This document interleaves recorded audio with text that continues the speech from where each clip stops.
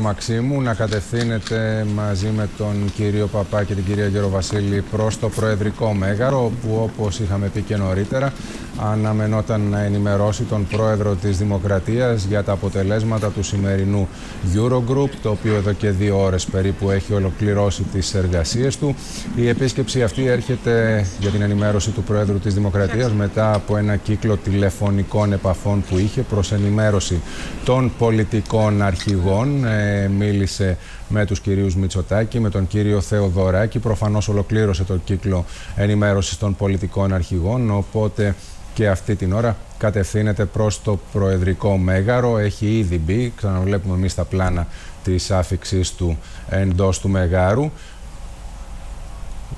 Δεν ξέρω αν θα πάμε στο θέμα τώρα ή να βγάλουμε τον Γιώργο Παντελάκη. Να επανέλθουμε λοιπόν στο θέμα, στο βίντεο για τις αλλαγές στην φορολογία και επανερχόμαστε στο Προεδρικό Μέγαρο.